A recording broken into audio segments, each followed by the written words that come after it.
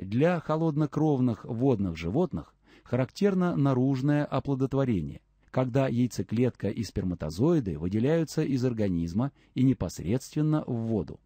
Понятно, что в этих случаях встреча и соединение гамет становятся делом случая. Много гамет погибает. Поэтому, чтобы повысить вероятность оплодотворения, рыбы, например, вынуждены выметывать огромные количества икры. Так самки окуня мечут по 200-300 тысяч икринок, а самки трески до 10 миллионов.